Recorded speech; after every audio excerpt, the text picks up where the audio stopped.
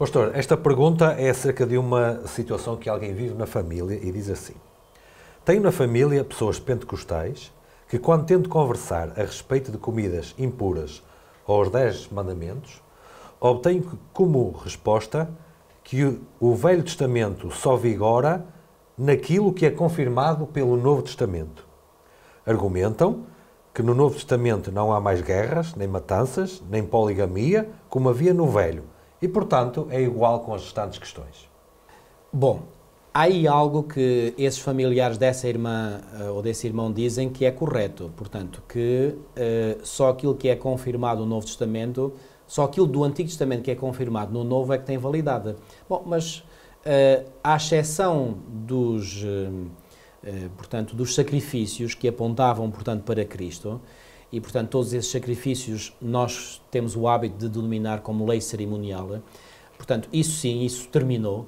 Uh, e a prova maior que nós temos é que quando Cristo expira na cruz do Calvário, o véu do templo é rasgado de alto a baixo, não é de baixo para cima. Podia dar a entender que fosse lá alguém por baixo e que rasgava de baixo para cima.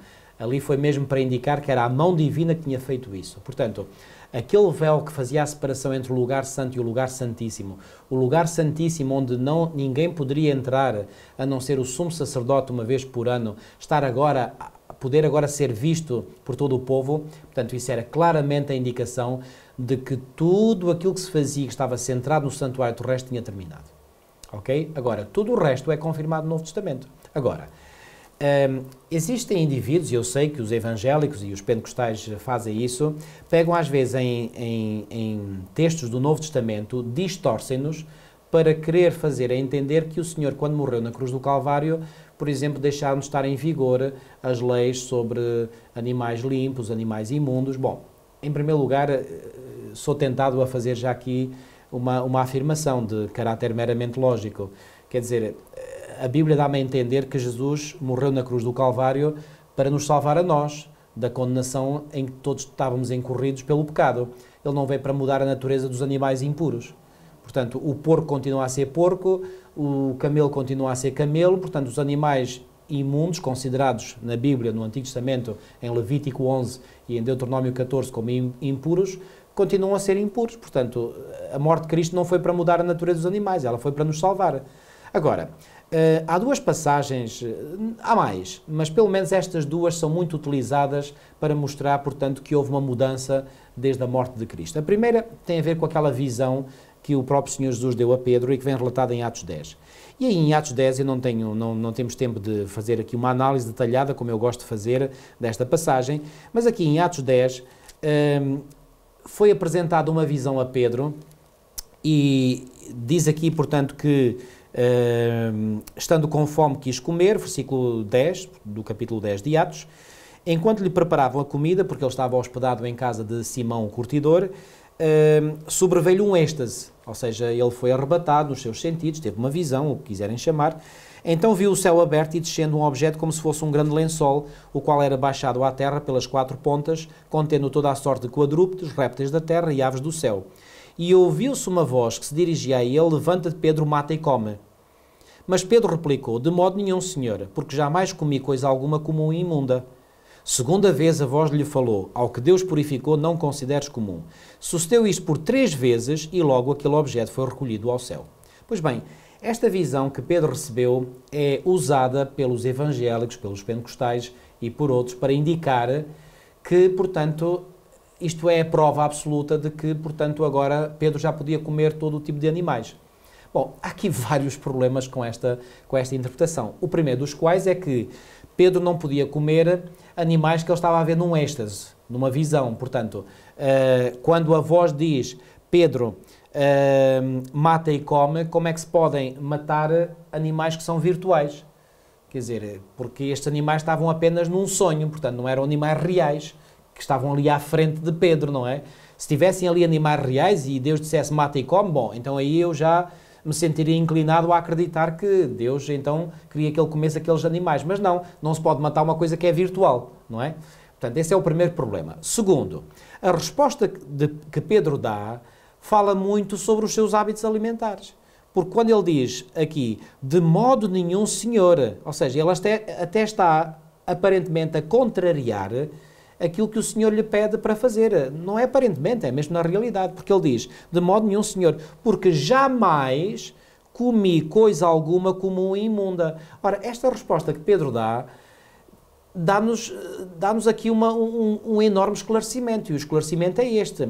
Pedro já tinham passado vários anos desde a morte e a ressurreição e depois a ascensão de Cristo ao céu, e Pedro, neste momento, ainda pode dizer que até aquele momento nunca tinha comido nada comum ou imundo.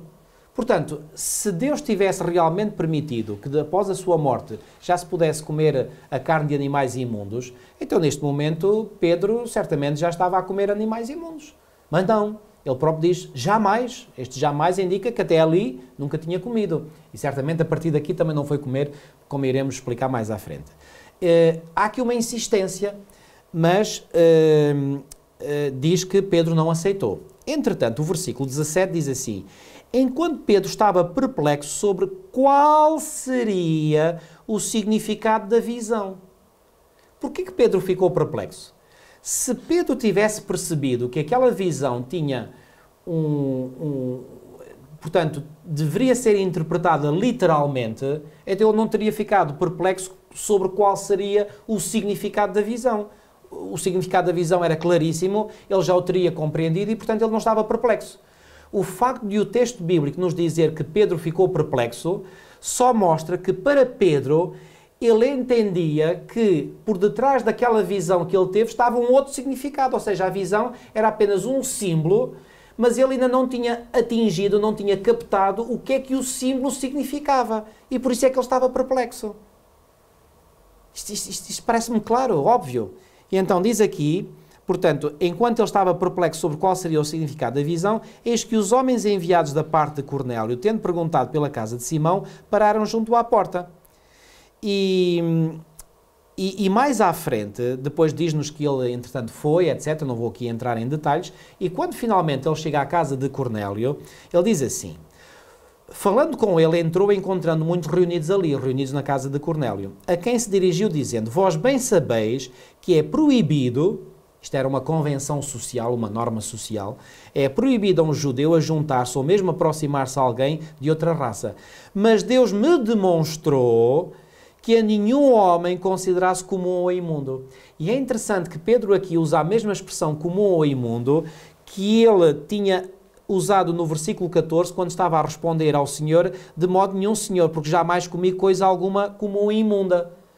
Então, a mesma expressão comum e imunda que é usada para os animais que ele recusou uh, comer, ele aqui diz que Deus me demonstrou que a nenhum homem, não animal, considerasse comum ou imundo. Então, finalmente, Pedro percebeu qual era o significado da visão. E qual era o significado da visão que o próprio Pedro de, testemunhou na casa de Cornélio. Aquela visão foi um símbolo que Deus utilizou para quebrar na mente de Pedro um preconceito social que era comum entre os judeus que eles tinham, de que aproximar-se de uma pessoa que não fosse judia, isso era aproximar-se de, um, de uma pessoa imunda.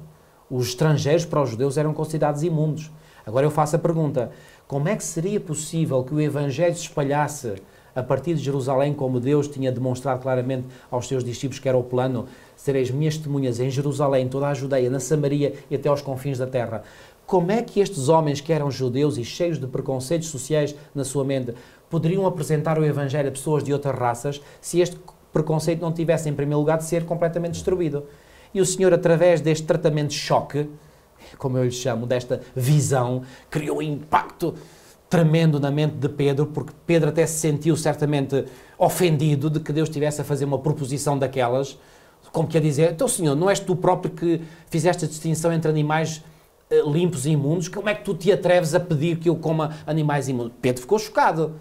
Mas aquele choque foi propositado. Deus queria abanar a sua mente. E abanou. E abanou de tal forma que ele ligou a experiência sensorial que ele teve ao ter a, a, a estas, a visão, com o que ele compreendeu que era aquilo que Deus lhe queria transmitir através dessa visão. O que é que ele compreendeu? Não, a partir de agora eu não posso considerar nenhuma outra pessoa que não seja judia como uma pessoa comum. Deus quer que eu fale a todos e todos estão em plano de igualdade. Essa foi a grande lição. Agora, em relação ao, ao, à, à, segunda passagem que eu disse que é uh, muito mal utilizada também e mal interpretada, é a passagem de 1 Timóteo, capítulo 4, uh, versículos 1 a 5. Diz assim: Ora, o Espírito afirma expressamente que nos últimos tempos alguns apostatarão da fé por obedecerem a espíritos enganadores e ensinos de demónios pela hipocrisia dos que falam mentiras e que têm cauterizado a própria consciência, que proíbem o casamento, exigem abstinência de alimentos que Deus criou para serem recebidos com a ação de graças pelos fiéis e por quantos conhecem plenamente a verdade. Pois tudo o que Deus criou é bom e recebido com a ação de graças nada é recusável, porque pela palavra de Deus e pela oração é santificado. O que é que acontece? Muitos evangélicos pegam neste texto e dizem: estão a ver? Paulo é claríssimo. A partir de agora nós podemos comer tudo. Na nova dispensação cristã não há mais limites, não há regras de animais limpos e imundos. Agora pode-se comer tudo. Bom, será que é isso exatamente o que Paulo está aqui a dizer? Bom, infelizmente é, é, é triste quando nós conseguimos, um, quando o, o, repare, o texto começa por dizer que o Espírito, ou seja, o Espírito Santo afirma expressamente, ou seja, de forma clara, que nos últimos tempos alguns apostatarão da fé por obedecerem a espíritos enganadores e a ensinos de demónios. E o que é certo é que a interpretação que é feita nos versículos a seguir é exatamente uma interpretação que ela foi forjada por ensinos de demónios. Claramente, o que é que Paulo está aqui a dizer? Paulo está uh, uh, uh, neste texto, reparem, é uma carta que ele está a escrever a um jovem colaborador, a Timóteo, que certamente se teria confrontado com estas questões no seu ministério e como ele era jovem, portanto não tinha ainda muita experiência e, portanto, não sentia ainda muita à vontade quando era confrontado com algumas questões. E Paulo aqui, nesta carta que escreve ao seu jovem colaborador, então ensina-lhe como é que ele deveria lidar com esta situação. Então repara, o que é que Paulo diz? Paulo fala aqui de alguns indivíduos que irão apostatar da fé, e irão apostatar da fé porquê? Por obedecerem espíritos enganadores e ensinos de demónios, e diz aqui que uh, eles serão levados pela hipocrisia dos que falam mentiras e que têm cauterizado a própria consciência. O que é que quer dizer cauterizada? Queimada, já não funciona. Isto faz-me lembrar quando eu era estudante ainda de enfermagem, assisti a algumas uh, cirurgias e na altura começou-se a introduzir o, o, bisturi elétrico e o bisturi elétrico o que é que faz? Ao cortar, cauteriza os vasos sanguíneos que são cortados. O que é que é cauteriza? Queima-os, de modo que os liga e já não não, não, não deitam mais sangue para fora. Portanto, uma, uma cirurgia feita com bisturi elétrico tem muito menos sangue do que com bisturi normal. Ok? Então, o que é que quer dizer cauterizada a consciência? A consciência está queimada, já não funciona mais. E porque a consciência está cauterizada, o que é que essas pessoas acabariam por fazer? Iriam proibir o casamento. Mas desde quando é que nós podemos proibir o casamento? Se o casamento foi instituído pelo próprio Deus, pelo Criador. Ou seja, há alguém que diga, bom, atenção, qual foi o modelo original do casamento que Deus uh, formou. Não foi um casamento entre um homem e um homem, não foi um casamento entre uma mulher e outra mulher, não foi o um casamento entre um homem e várias mulheres, nem foi um casamento entre uma mulher e vários homens. O modelo original, aquilo que Deus criou, o casamento, e só, e só esse, esse casamento é que merece ser chamado casamento, é entre um homem e uma mulher. Então, proibir o casamento entre um homem e uma mulher, desde que, desde que esse casamento respeite outros princípios bíblicos, é, é uma coisa que é errada. Mas essas pessoas, porque tinham a consciência cauterizada, eles não apenas proibiam o casamento, mas exigiam, como Paulo diz, exigem abstinência de alimentos. Mas que alimentos é que eles exigiam abstinência? É só ler o que vem a seguir. Que Deus criou para serem recebidos.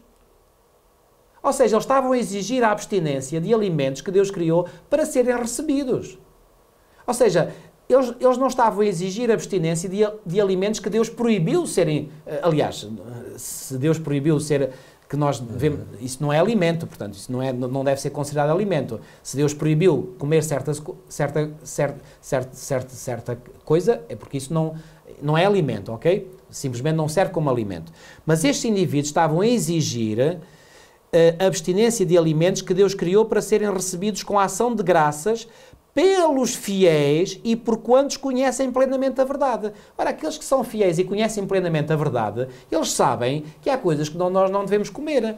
Mas não era aquilo que estes indivíduos estavam a exigir que se abstivessem dos alimentos. Eles estavam a exigir que se abstivessem de alimentos que eram perfeitamente legítimos, que Deus criou para serem recebidos. As leguminosas, os cereais, sei lá o que é que eles exigiam, que, se, que abstenções é que eles queriam.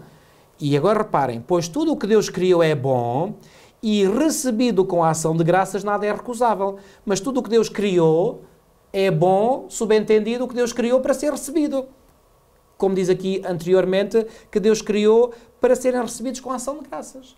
Portanto, eles distorcem aquilo que Paulo quis dizer, para dizer, ah, agora Deus já permitiu comer tudo. Não, não, não, não, não é isso que Paulo está a dizer. Paulo está a falar é de pessoas extremistas, fanáticas, que iam ao ponto de proibir que os outros fizessem coisas que o próprio Deus tinha, tinha aceito, tinha criado. O casamento e alimentos que Deus tinha criado para nosso alimento. Era isso que uh, Paulo estava a condenar. Não, esta passagem não nos permite dizer que agora já podemos comer de tudo e mais alguma coisa. E quanto aos Dez Mandamentos, pastor, ainda estão em vigor no Novo Testamento? Todos eles. O Senhor não disse em Mateus 5,17: não veio, não, não cuideis que vim uh, abrogar, abrogar a, a, lei, eu vim para cumprir. Mateus capítulo 5 e versículo 17, é muito claro, eh, em pleno Sermão da Montanha. Eh, Jesus disse: Não penseis que vim revogar a lei ou os profetas, não vim para revogar, vim para cumprir, porque em verdade vos digo: até que o céu e a terra passem, nem um i ou um til jamais passará da lei, até que tudo se cumpra.